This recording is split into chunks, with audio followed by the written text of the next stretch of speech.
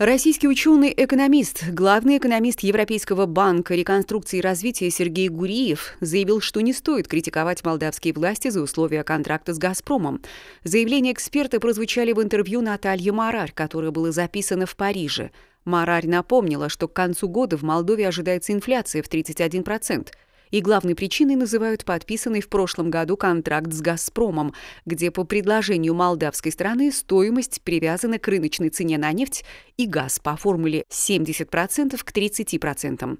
Россия использовала зависимость Молдовы от газа как геополитическое оружие.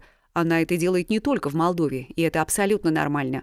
К сожалению, Молдова платит этим за свой европейский выбор, а Россия, если бы могла, она взяла бы гораздо больше – Путин был бы рад развязать войну в Молдове, просто не может, поэтому использует цены на газ.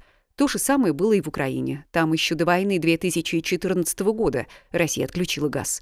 Мы не знаем, как шли переговоры и какие угрозы использовала Россия в отношении Молдовы, поэтому мне трудно об этом говорить, и я не стал бы критиковать молдавских коллег, подытожил Гуриев.